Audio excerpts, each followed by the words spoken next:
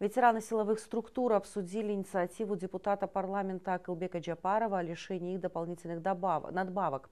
По их словам, многие силовики получают мизерные пенсии и такие же надбавки. В конце 2006 года пенсия отдельных силовиков составляла 4878 сомов. В, следующем, в последующем был перерасчет, согласно которому пенсия была увеличена. Позже также была начислена надбавка за особые заслуги перед государством.